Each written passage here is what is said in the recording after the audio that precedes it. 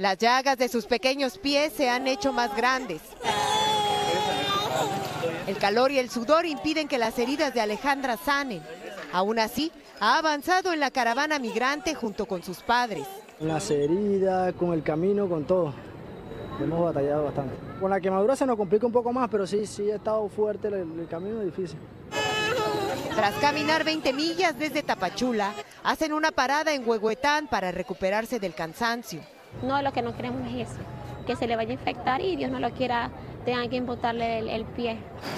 Como ellos, son casi 500 familias que viajan con niños en una caravana que ha congregado a 4.000 migrantes.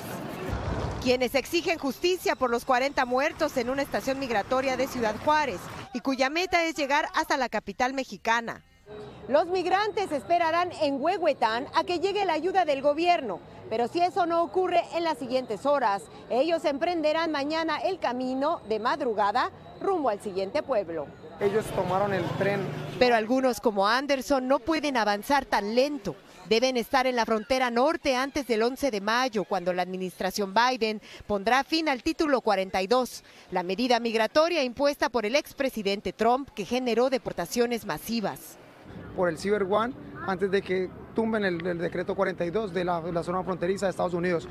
En una entrevista exclusiva con Noticias Telemundo, la vicepresidenta Kamala Harris reveló cómo se están preparando para el fin del título 42. Since we came in office, attempting to fix it in a number of ways, which includes more judges, more personnel, making sure that we secure the border, but that we have also an immigration system that is fair and humane.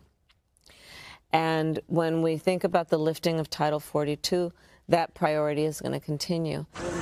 Pero la desesperación de esperar crece, al mismo tiempo que el calor, la sed y el cansancio. En Chiapas, México, Isa Osorio, Noticias Telemundo.